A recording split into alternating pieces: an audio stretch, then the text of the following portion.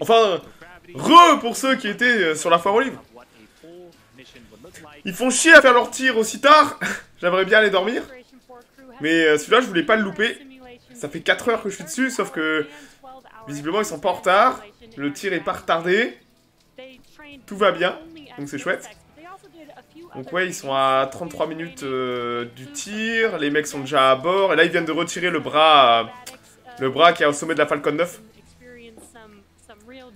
Donc euh, ouais, visiblement, ils ont l'air d'être euh, dans les temps. La météo est bonne. Donc euh, on croise les doigts qu'ils euh, qu'ils- qu'ils- qu'ils retardent pas le tir à la, à la toute dernière minute. Et, euh, on, et on va bien voir. Donc ouais, pour ceux qui- on en a pas parlé de... euh, on, a, on, a- a pas parlé de... euh, de, ce, de cette mission un peu particulière.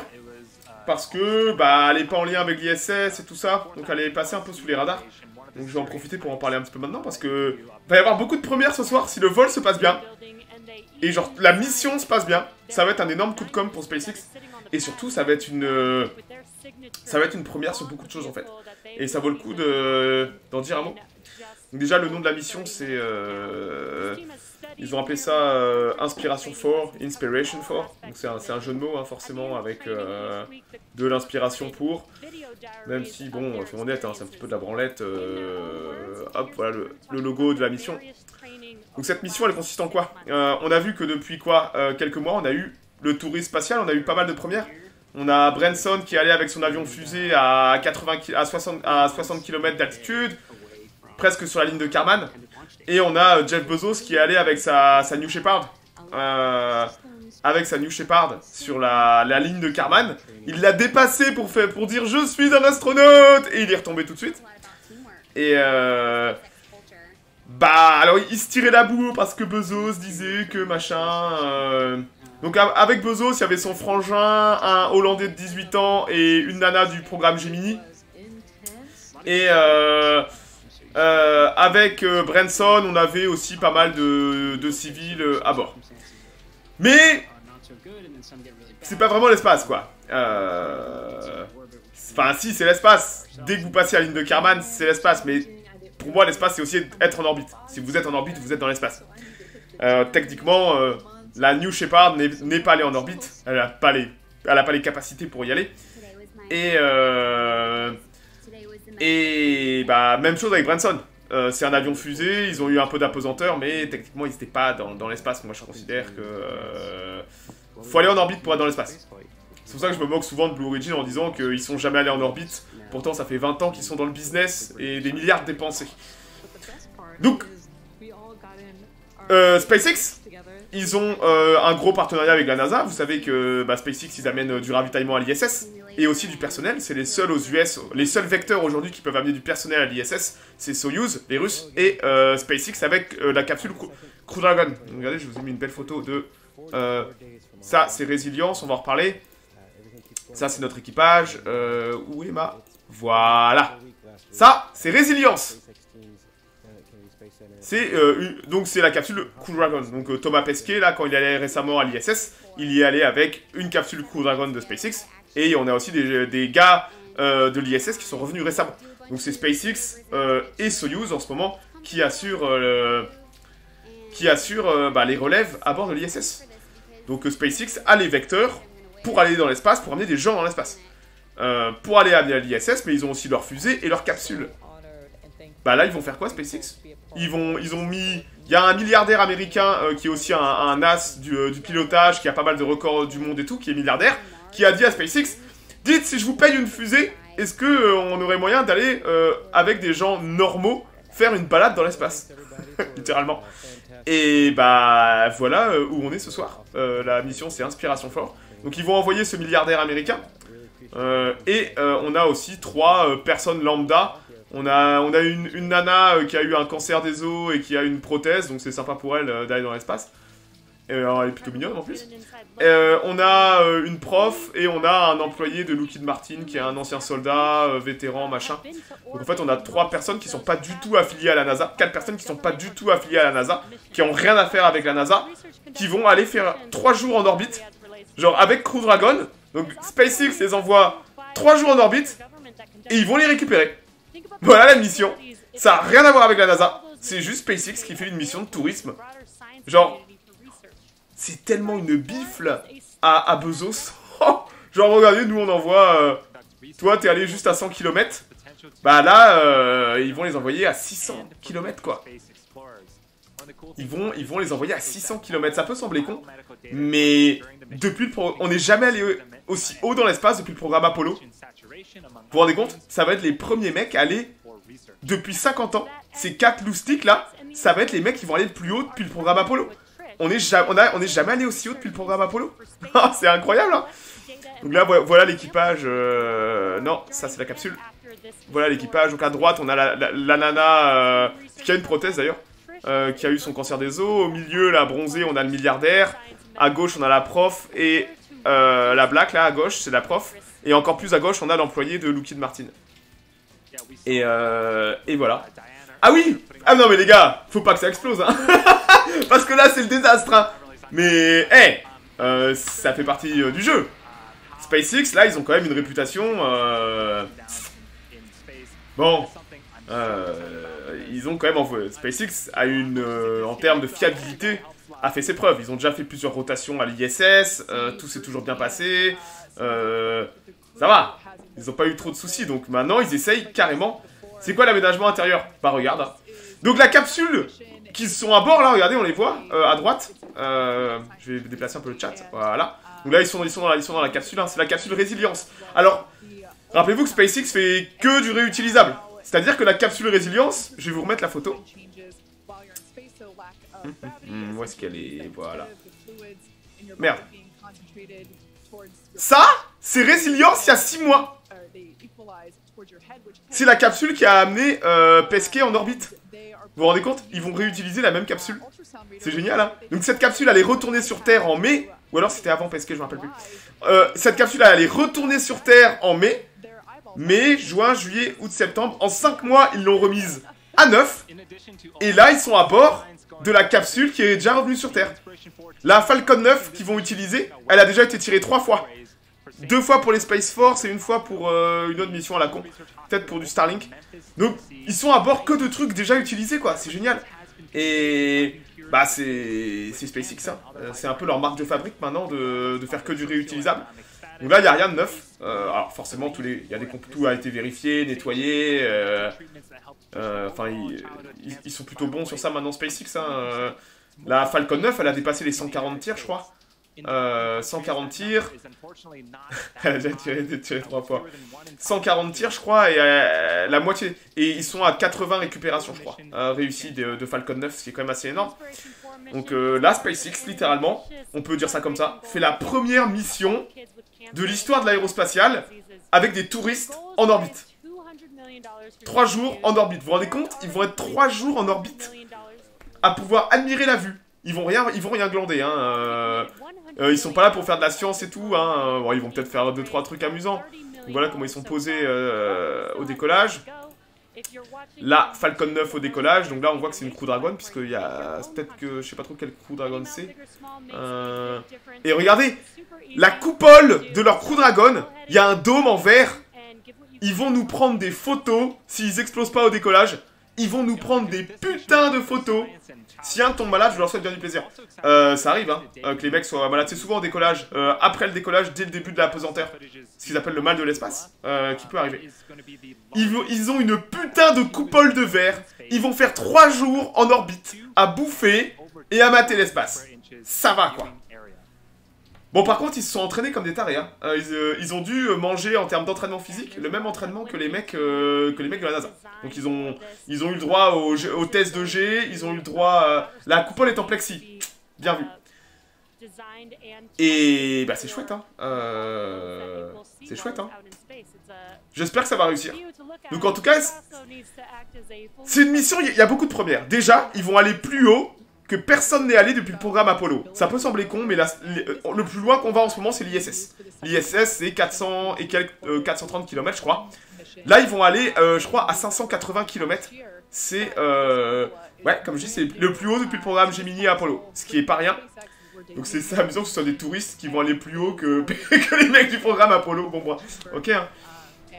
Et. Et il y a quoi d'autre? Vous savez combien il y a de personnes dans l'espace en ce moment? Combien on a de personnes? Euh, C'est un record. Combien est-ce qu'on a de gens en orbite? Allez, un chiffre à l'arrache. Combien, combien on a de gens en orbite euh, en ce moment?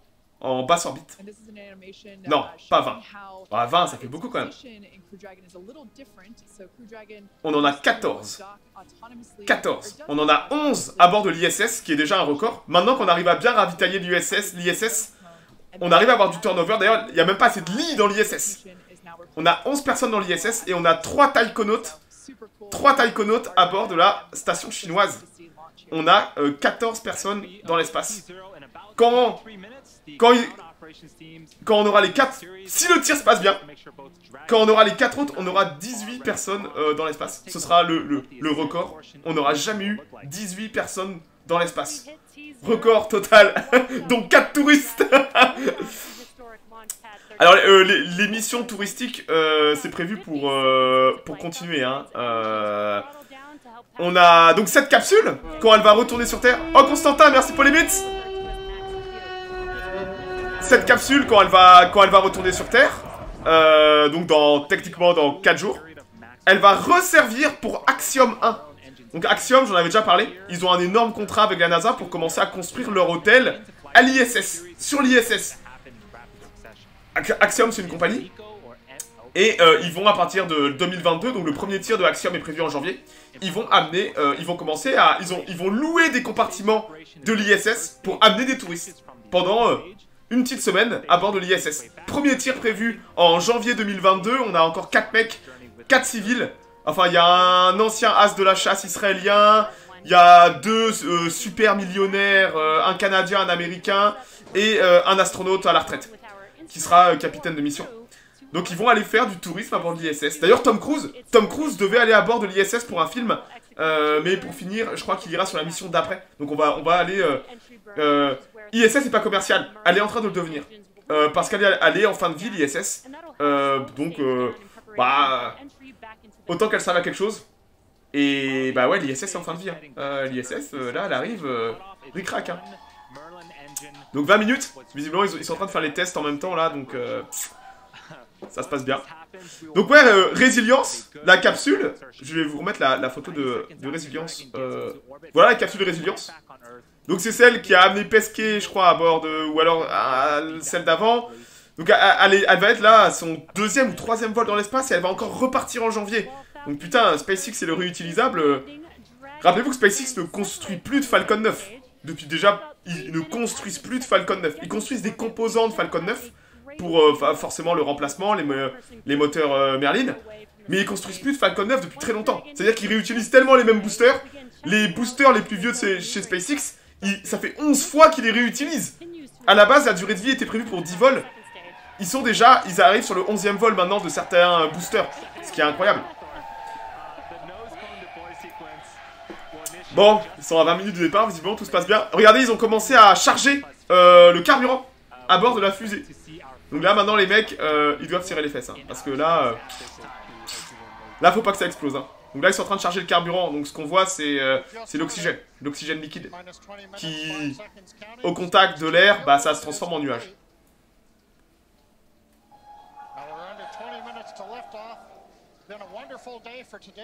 Donc ouais, on a, comme je dis, on a depuis 2-3 mois là, on a le tourisme spatial qui est en pleine explosion. Donc là, ça va être un... C'est quoi qui se passe? Euh, C'est le tir d'une mission, de la première mission euh, touristique en orbite, euh, avec 4 mecs qui ne sont pas affiliés à la NASA, donc 4 mecs lambda à bord. Et bah, on va voir ce que ça va donner, sachant qu'ils vont, ils vont aller super haut, ils vont faire 3 jours en orbite. On espère que ça va bien se passer. C'est un énorme coup de com', hein, euh, parce qu'il nous, nous a tellement fait, Jeff, il nous a tellement fait chier, Jeff Bezos, récemment, euh, avec toutes ces poursuites toutes ces poursuites au congrès, à la NASA et tout ça, et puis la New Shepard où il, nous a fait chier à monter à 100 km, regardez comme je suis... Putain, là SpaceX lui met une énorme bifle là, si le vol se passe bien. Bon, faut pas que ça explose en vol par contre, hein, parce que là, 4 civils... Euh, J'espère qu'ils qu'ils ont signé une clause comme quoi là, ils peuvent pas être poursuivis, ils peuvent, personne peut poursuivre le SpaceX. non, si vous montez dans une, dans une fusée, il y a un pourcentage de, de chances que ça explose. Point barre. C'est c'est aussi, fiable que quand vous montiez dans un avion dans les années 30. C'est-à-dire qu'il y a un pourcentage de chances que, euh, bah, que les choses aillent mal. Point barre.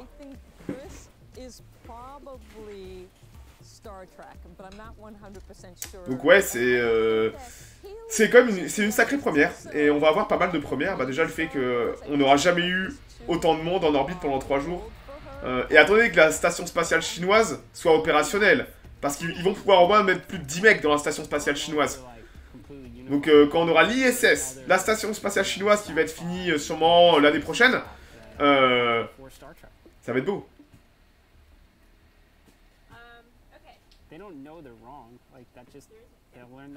Dans un avion, tu as plus de chances de survivre quand même. Alors tu vas rire, mais non t'as plus de chances de survivre dans la fusée parce qu'elle a un système euh, d'urgence euh, pour euh, éjecter Crew Dragon. Donc c'est fait pour. Normalement, s'il y a un problème avec la Falcon 9 dessous, la Crew Dragon qui est au-dessus va immédiatement se mettre à feu et va, et va quitter la Falcon 9. Donc techniquement, tant qu'ils sont pas en orbite, t'as plus de chances de survivre, je pense, dans une Falcon 9 que dans un avion en chute libre ou dans un avion avec une aile arrachée. Mais bon, c'est quand même assez rare les accidents d'avion. Hein. Le chrono en bas, c'est le moment du lancement. Ouais, 17 minutes. Et là, toute la fumée, ils sont en train de procéder, euh, ils sont en train de procéder au chargement du, euh, carburant à bord de la fusée. Les fusées russes sont ça pour se sauver. Euh, c'est maintenant la base. C'est-à-dire que quand SpaceX, pour être validé, quand Crew Dragon a été validé par la NASA, pour emmener du personnel, SpaceX a tiré une Falcon 9 et a détruit la Falcon 9 volontairement, en vol, boum. Elon Musk a appuyé sur le bouton. Il a flingué la Falcon 9 juste pour tester le système d'urgence. Et la NASA refuse de valider une capsule pour du vol humain tant que ce système n'a pas été testé en vol de façon réelle. Donc faut casser une fusée volontairement pour tester. Et ça, SpaceX l'a fait. Ah oui, bien sûr que c'est obligatoire, mais il faut, il faut.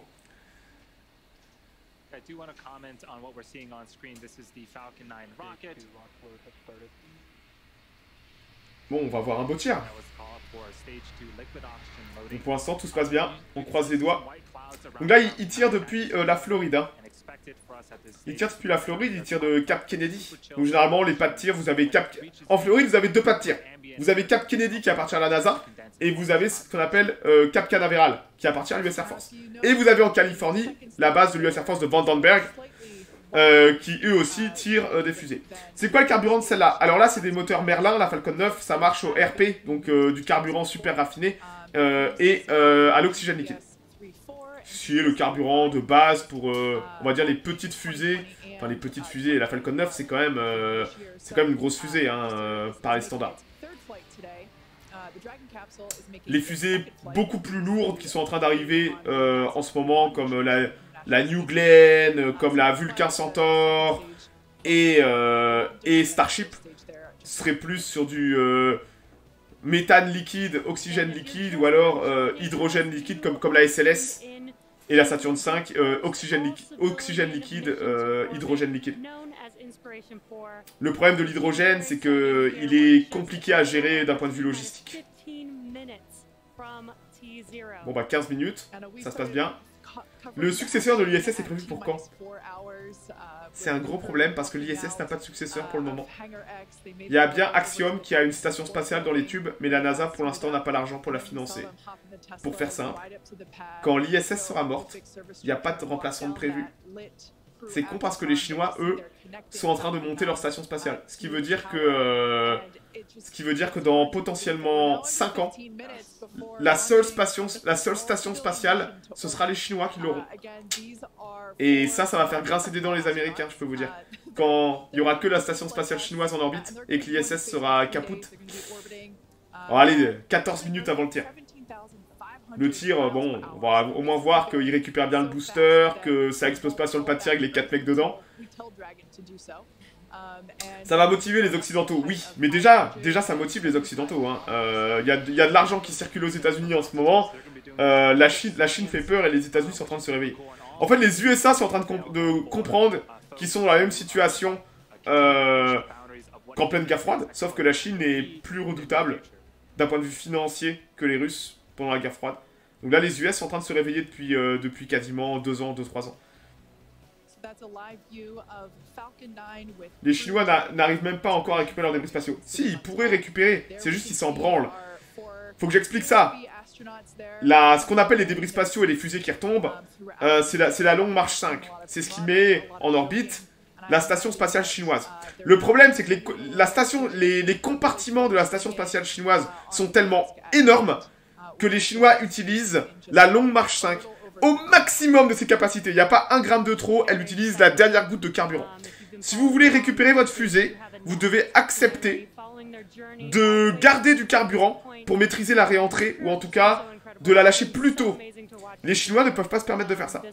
C'est pour ça que ils balancent la longue marche 5, ils l'amènent au maximum du maximum, et ils la laissent retomber parce qu'ils peuvent, ils l'amènent trop haut pour, pour contrôler la réentrée. Et bah les Chinois ils ont pas le choix. La navette spatiale, les Américains ils étaient obligés de sabrer les performances de la, navette, donc de pas aller au maximum de la navette pour pouvoir contrôler la réentrée euh, du réservoir principal, de l'énorme truc orange qui a dessous la navette. Mais ils perdaient de la capacité euh, de la navette à cause de ça.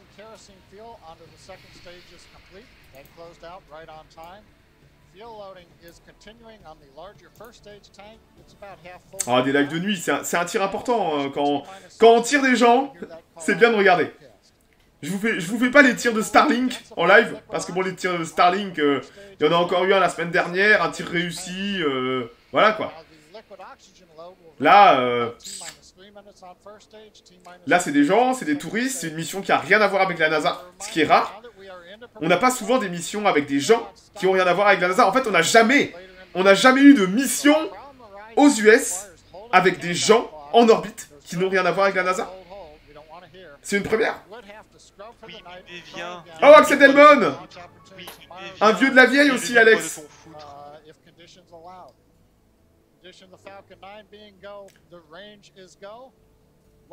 11 minutes. On croise les doigts. Donc voilà, ils sont en Floride. Hein. Ils tirent pas de Californie, ils tirent pas de Vandenberg. Qui a regardé la série Netflix? Pas moi, justement Parce que je m'en branle de Netflix Oui, enfin, ils vont lancer James Webb. Euh, James Webb, on espère. La date est prévue du lancement. Il est en train d'être amené à Kourou par bateau. Il est temps qu'il parte dans l'espace. Et Ariane 5 a pas intérêt à se louper. Ils ont payé combien? Alors en fait, si on fait les maths, peut-être que SpaceX a payé un peu pour le coup de com'. Euh, une SpaceX avec Crew Dragon, la NASA paye dans les 120 millions de dollars. Sachant qu'une Falcon 9 euh, coûterait, allez, entre 60 millions, 70 millions de tirs, un peu moins je pense. Donc potentiellement, peut-être qu'ils ont payé en tout 90 millions, 100 millions. Alors c'est pas les gens qui ont payé, hein, c'est le milliardaire qui a, qui a qui est le parrain de la mission, on va dire ça comme ça.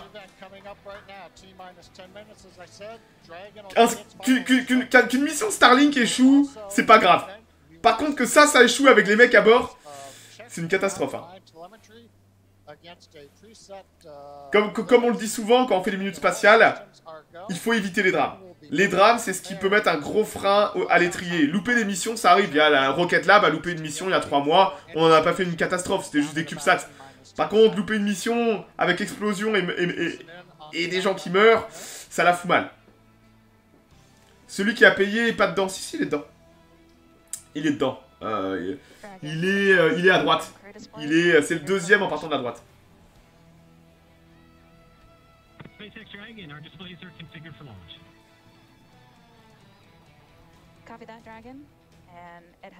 Je vais mettre un peu plus de son. Today you are truly inspiring the world. We wish you a great mission. Good luck, Godspeed, and enjoy the ride. Enjoy the ride. Bah putain, moi je voudrais bien aussi euh, profiter euh, du voyage là. PP demain dans l'espace avec la petite coupole là. Fantastique. Tu peux boire ta bière en orbite.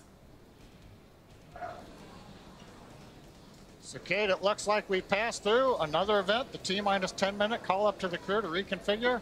That final message from the ground team as they get ready to have Inspiration 4 team inspire the world. On aura une minute spatiale euh, samedi, j'ai des photos de dingue. On a eu une EVA, euh, une EVA géniale avec euh, Pesquet et le... Et... comment il s'appelle putain déjà son, son compère... son compère japonais de la JAXA, qui est tout le temps en train de se marrer. Oshide Aki Oshide Aki Oshide Donc on a eu, euh, on a eu une super Evera de, de, de, de Pesquet Oshide. Putain, ils ont pris de ces photos, elles sont incroyables. Ils sont cons, ils ont pris des selfies et tout. Genre, tu vois les mecs, putain, les photos sont incroyables, donc je suis allé récupérer les photos. On a aussi les Chinois qui ont leaké euh, des photos de, leur station spatiale euh, avec des putains de prises de vue. Et ça fait plaisir de voir les, même les Chinois qui communiquent. Euh, généralement, ils sont plutôt discrets. Et bah, on a aussi eu un tir de, OneWeb, donc Soyuz qui a encore amené 34 satellites de OneWeb en orbite. OneWeb, ils, ils, en sont, ils en sont, je crois, à 260 satellites. Ils ont leur, constellation, non, plus même, 300 têtes. Faudra aller voir. Mais ils ont déjà fait la, plus de la moitié de leur constellation. S'ils continuent à se un tir tous les, tous les un mois et demi, euh, la constellation, euh, elle sera finie dans un an, quoi. Incroyable.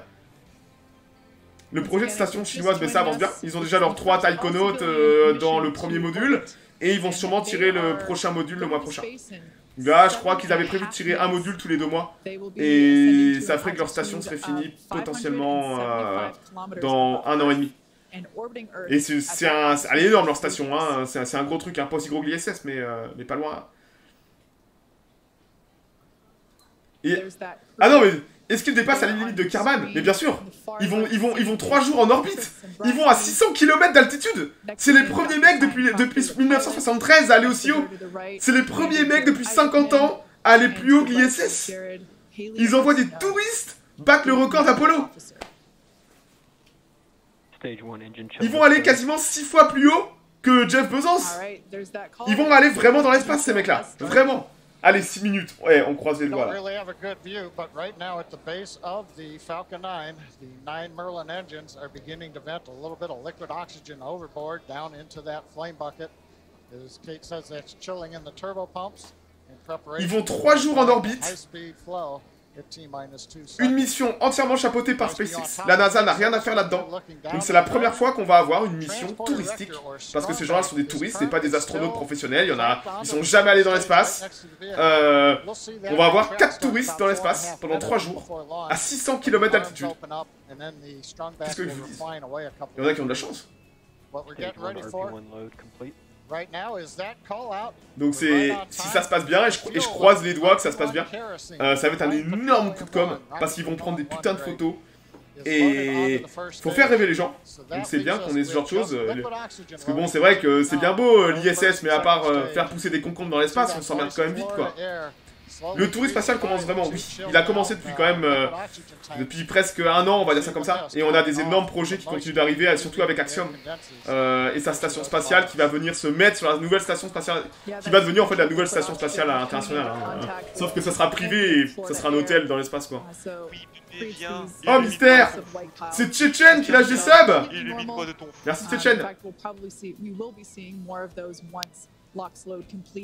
and uh, those lines are closed off to the vehicle. Allez, c'est les derniers tests là. S'ils doivent uh, retarder, c'est maintenant.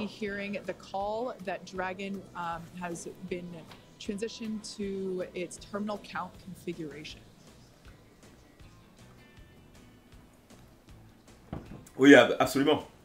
Bien sûr qu'il faut apprendre à faire pousser des concombres. Mais il y aurait des choses plus intéressantes à faire dans l'espace en ce moment que de faire pousser des concombres. Genre faire de la, de la, de, tester de l'imprimerie 3D dans l'espace par exemple. Et en ce moment, euh, les Chinois, ils vont pas faire pousser des concombres hein, avant leur station. Hein. Ils, vont faire euh, de la cellule souche, ils vont faire de l'informatique, ils vont faire des euh, recherches ADN, ARN en, en apesanteur, ils vont faire de la micro-ingénierie. D'ailleurs, les, les Russes les Russes lâchent l'ISS, entre autres pour ça. C'est qu'ils veulent se spécialiser plus dans l'industrie spatiale que juste faire pousser des fleurs et regarder comment les araignées baissent dans l'espace, quoi.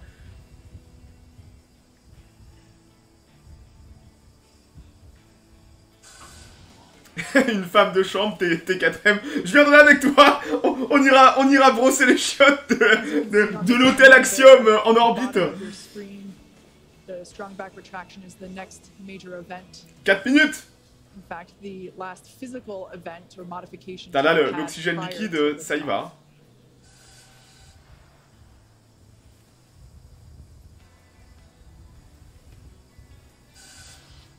Falcon 9 is nearly fully loaded with almost 100, excuse me, of 1 million pounds of liquid kerosene and liquid oxygen. That liquid oxygen is what we see venting there, uh, those white clouds. All right, and there on your screen, you can see that the strong back is beginning to retract. And Kate, that strong back will move back just a couple of degrees you see here. Then at T0, when Ah bah, si tu me donnes 9 90 sets the millions, on va falloir peut-être un peu plus. ground, release it. Mais euh, tu- sans déconner, tu- tu- tu me donnes 45 150 degree millions d'euros. moi je demande à SpaceX de, de- de m'envoyer 3 jours euh, là-haut. hein. First stage liquid oxygen Rien à foutre, hein, l'argent de toute façon c'est fait pour être dépensé. euh. Rien à foutre du reste, hein. Ah ouais, si les US pouvaient mettre euh, 5% de leur budget militaire dans le spatial, c'est magnifique, bien sûr. Until the launch of Inspiration 4. Ok,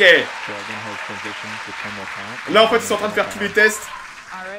Et s'ils doivent annuler ou- ou retarder, c'est maintenant qu'ils font. Tu chopes un bon fond vert. Les gars, je suis sur la lune Je chevauche, je chevauche Zeppelin vigoureusement California, as we are now under two and a half minutes until the launch of the Inspiration 4 crew.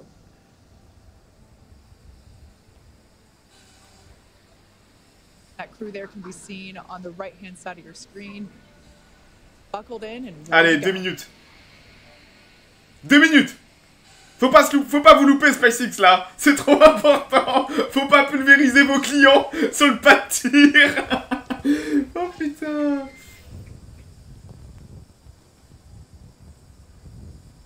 C'est arrivé une seule fois qu'une Falcon 9 explose sur le pas de tir. Et elle a, elle a explosé avant même le début du tir, elle a, pendant le chargement je crois. C'était la seule fois que c'est arrivé. Falcon is now fully loaded with all of its propellants. Avec Ariane Last 5 et. Soyuz, c'est euh, les, les trois c'est une des fusées les plus fiables euh, de l'histoire de l'aérospatiale. off various lines on the uh, launch pad, we'll hear some loud noises. Let the crew know that's planned. We're also right now draining the liquid oxygen. Là, ils sont en train de purger, euh, director, draining the lines, ils sont en train de purger toutes les lignes de carburant. Waiting for the startup call at T minus one minute.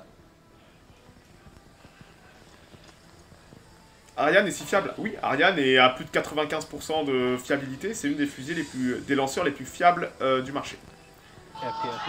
Allez, cette fois, je crois qu'à moins d'une minute, ils laissent le contre, ils laissent l'informatique gérer. Ce qui est bon signe. Ça veut dire que là, ça part. You on va mettre un peu de son. Hein. Inspiration 4 is go for launch. Punch it, SpaceX.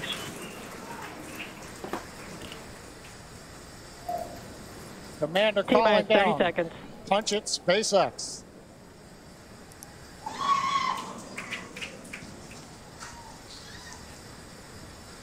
Allez,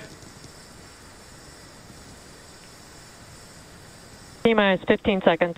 Ariane, ils ont jamais tiré d'humain. Ils sont pas, ils sont pas là pour ça. Ils ont pas les certifications. 10, 9, 8, 7, 6, 5, 4, 3, 2, 1. Ignition. And liftoff. So thank you. Go Dragon. Go Falcon. Godspeed Inspiration 4. Wouh Beau décollage. One Alpha. Vehicles pitching downrange. Beau décollage. Ça a pas explosé sur le pas de tir.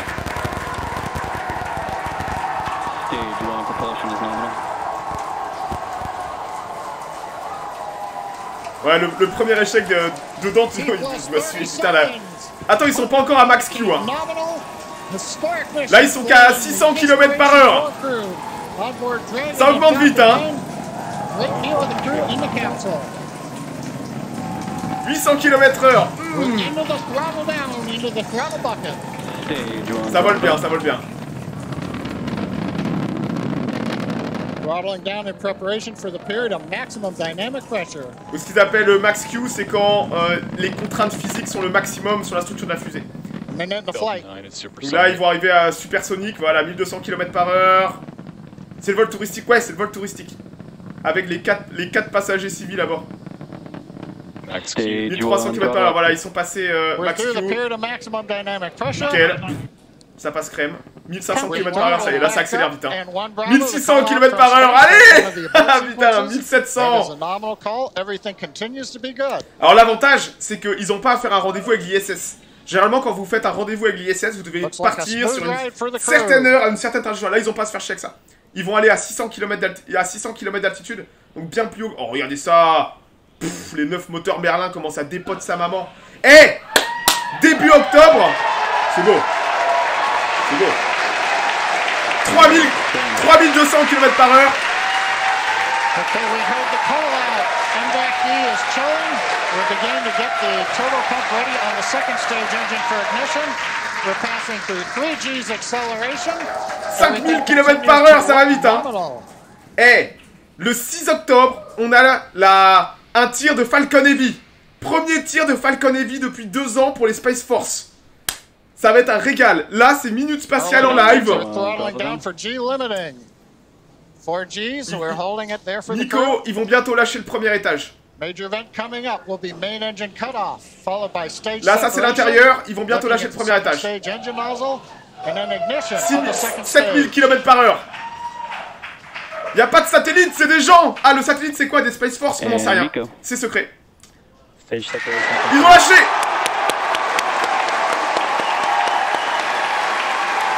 Et c'est parti uh, ignition.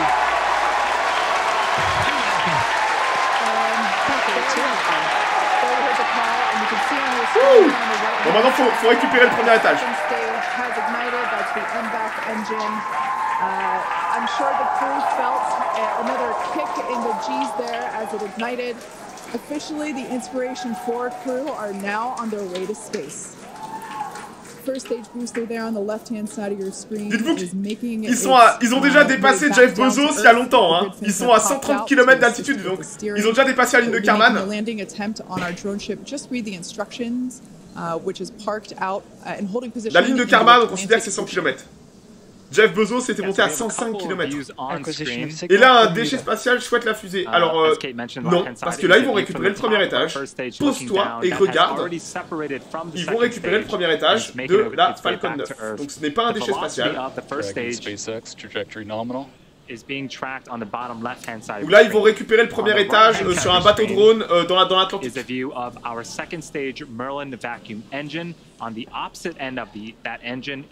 view of our second stage Merlin vacuum engine. On the opposite end of the that engine is the second stage and the crew, which sits on top of the second stage. Everything looks to be En termes de going déchets spatiaux, je peux vous dire que normal, SpaceX, uh, euh, normally uh, c'est pas with mal. them, um, and you can also track C'est the ceux qui en velocity balancent le on the moins second parce stage on qu'ils- the bottom ils récupèrent right-hand side beaucoup of quand the même. screen.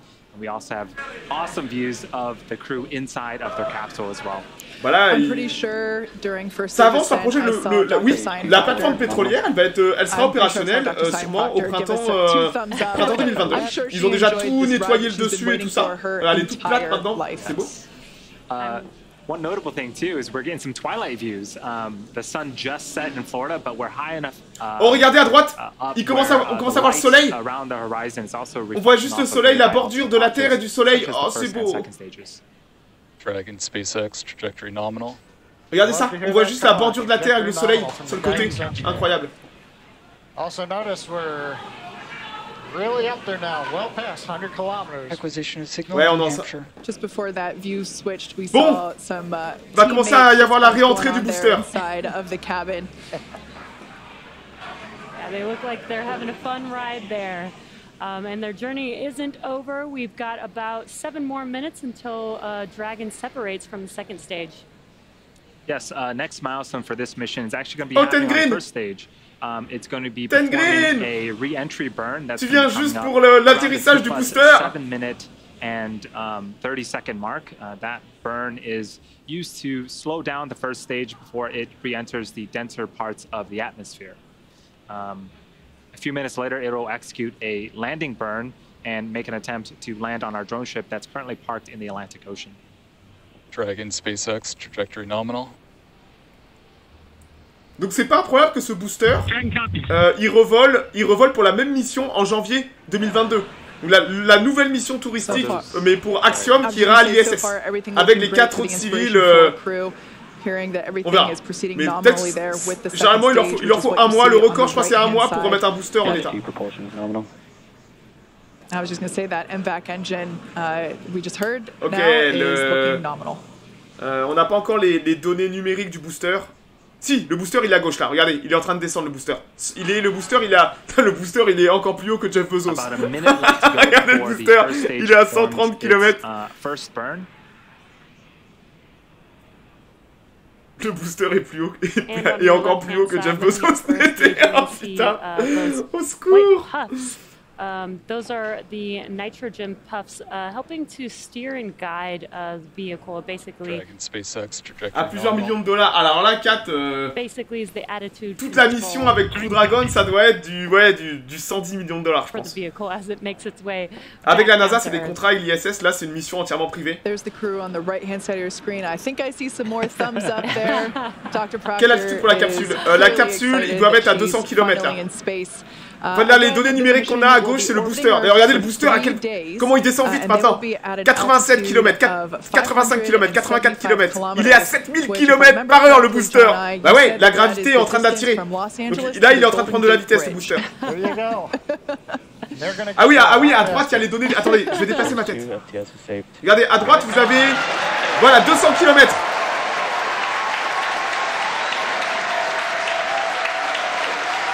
Là, le booster vient de, de commencer le coup de chauffe pour euh, ralentir. Et à droite, ils vont dépasser les deux. Ils arrivent sur les 200 km et les 20 000 km par heure. First stage. Uh, again, this first stage has already separated from the second 20 000 stage. km par heure. Donc ils vont sûrement être euh, sur du is, uh, 20 making 30 its 000 way km par heure, je pense, euh, quand ils seront en, en orbite à is 600 going km. Rappelez-vous que ces mecs-là vont on aller le plus haut qu'on soit allé depuis uh, you 50 can ans. Ils vont aller euh, à sunrise 600 km. Ce uh, qui est. Bah, la dernière fois uh, qu'un just être humain est allé aussi haut, c'était le programme Apollo. Voilà, c'était Apollo. C'était les mecs qui sont allés sur la Stage 2 Lune. Je vais baisser ma petite tête. Uh. Oh putain, le booster à gauche est plus qu'à beat 13 as km, il va bientôt se poser. Regardez la vitesse à gauche comment elle ralentit. 2500, 2400 km par heure, 2300 km par heure, c'est incroyable. about 15 seconds, we are expecting Copy the Shannon. 1600 km par heure, 1500, incroyable. La Lune est à combien? expecting 300 000 the MBAC to throttle down and cut On n'a pas la technologie pour un- un ascenseur spatial. On n'a pas la- les matériaux. Ça viendra peut-être. uh. Uh, Ok, ils vont arriver. landing burn. 3 And here we have the MVAC. We just saw 3 that it, kilomètres um, d'altitude. shut off its engine. 2 km d'altitude pour le booster, 800 km par heure, il va arriver. Allez, montre-nous les vidéos du bateau là Montrez-nous le bateau All right, good news there. The nominal orbit insertion. That's amazing news for Inspiration 4 crew. 300 mètres d'altitude, montre-nous le bateau, enculé Ils ont pas les feeds, si Oh, il se pose, regardez Allez Oh, il se pose magnifique On n'a pas le feed Frontier. A few have come Allez. before and many are about to follow. The door's opening now. It's pretty incredible. Stage one landing is confirmed. Ils l'ont eu Ils ont récupéré le booster System is designed. Incroyable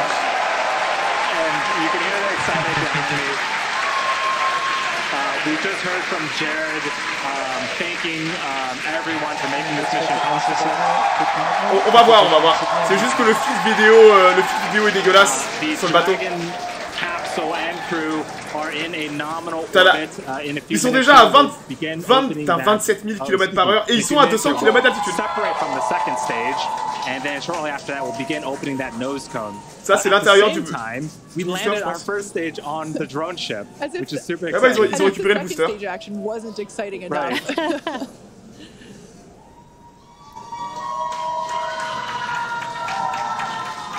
So there's that MVAC engine, like we mentioned before. It has already shut down uh, in an event known as second engine cutoff. And Voilà, the 200 crew km d'altitude, ils now sont, euh, gliding, if you will. ils sont euh, deux fois plus haut que la ligne de Karman déjà. Et ils vont rester comme uh, ça pendant 3 jours. uh, Non, non, non, non, une 11 fois qu'ils seront en orbite, en fait, ils vont se décrocher parce qu'ils ont toute a la bouffe et tout derrière. euh, uh, C'est quand même une grosse capsule. Là, en fait, ils ont pas le ravitaillement de l'ISS. The second stage is going through a series of events where we make sure that gases are all pushed out of the system. There aren't any what they call disturbance torques. We want to make sure that the second stage is very stable, it's quiet, it's not moving around, it's not doing anything. So we give it a few minutes to actually just vent everything down, then go into quiet mode. Then Dragon will send the command to separate itself from the Falcon 9. It'll be pushed away. Falcon 9 stays Regardez, in il continue de monter, while till 202 it eventually km. Il est où Elon The là? Bah il est pas là, tu sais, euh, tu sais, Elon Musk n'est pas sur tous les streams euh, à participer, tu sais, il a un boulot, um, tu vois il- This is almost similar to that. It's like another check before the next thing, Ah dommage, ils, ils ont pas les vidéos. Alors là on voit que le booster est posé tranquille, mais on n'a pas les, les countdown. vidéos du bateau. We're about 30 seconds away from uh, separation of Dragon from the second stage. The view on the left-hand side of the screen is a view of the unpressurized section of Dragon. So it's the Ah non, ça back à gauche c'est euh, Dragon. Dragon. So when we do see separation, we'll see that kind of push away from the second stage and uh, make its way. Bon bah en tout cas c'est bien, ça se passe bien. 205 km d'altitude. Donc ils vont aller jusqu'à 600 km d'altitude, hein, 580 Once je crois again, the. Inspiration 4 has lifted off from pad 39A. Um, they are now in orbit uh, around Earth and Oh, regardez, il lâche, il lâche l'étage. Dragon separation confirmed.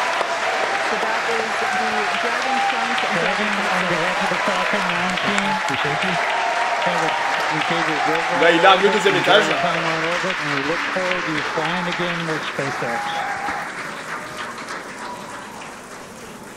and copy that, Garrus. We really appreciate everyone's help back in um, LCC.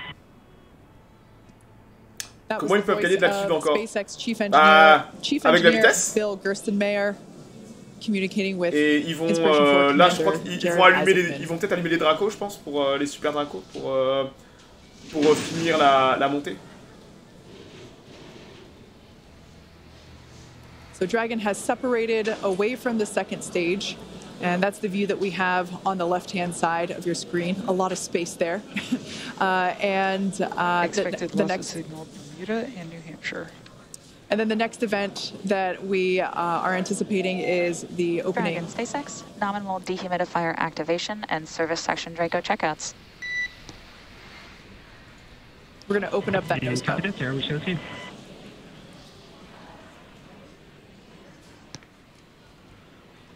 So we heard the call out. Nominal Draco checkouts after separation.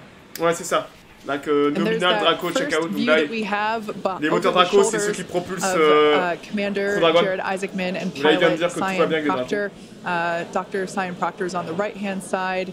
And uh, Jared le matos, ils ont, comme vous voyez, Soyuz, is, Soyuz, ils ont uh, une petite baguette pour activer les leviers. Là, attends, tout est tactile, les mecs. euh, clac, clac, clac.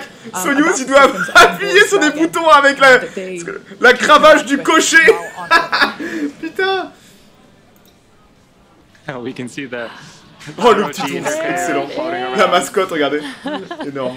And it looks like it is a Ouais, le Dragon retriever. vraiment moderne. Et fait pas que moderne, c'est the Dragon est moderne. uh, Mais être moderne veut at pas dire que St. c'est pas Hospital. plus performant, c'est plus pratique, en fait. Oh, I love it. Fifth crew member on board with the Inspiration 4 crew. Soyuz, c'est un monstre de régularité et de fiabilité. hein. So in a few seconds here, we are expecting the nose cone to open up, and hopefully we'll be able to see uh, the first views of the Ils Dragon vont ouvrir cupola le, in le- space. ils vont ouvrir le cône maintenant que bah ils sont bien. Ils, vont ouvrir le. Vous vous rappelez le dôme? Résilience à. There we can see that they have just Regardez. opened up their visors. Il il y a un dôme. Ils vont, ils vont ouvrir le dôme là, au-dessus.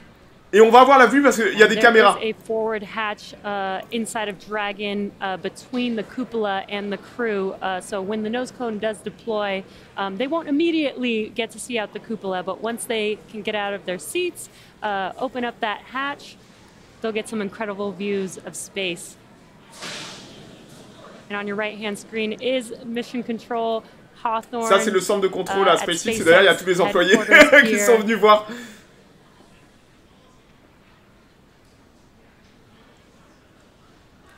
Peux faire une partie de 4. Ouais, ils ont, ils ont, des bonnes connexions internet. Hein, ils ont des bonnes connexions internet. Faudrait voir un peu le ping, le ping mais euh, ils, arrivent à, ils arrivent à streamer tous les trucs. Donc, euh, sans problème, s'ils arrivent à streamer, tu peux jouer à U4. Ça va être sympa de demander à Thomas Pesquet si voulez faire une game de U4 dimanche. On peut lui proposer de venir faire les secondes. Due to the fact that the space station is not our destination today, we were able to pull out that docking mechanism and insert the cupola, um, which will basically provide a 360 view of space for our passengers inside uh, Crew Dragon Resilience here, which I cannot wait for our first views of the cupola. C'est vrai que j'ai hâte de voir la coupole à 360 degrés là. Euh, ça a l'air de. And uh, you know to see it actually in action.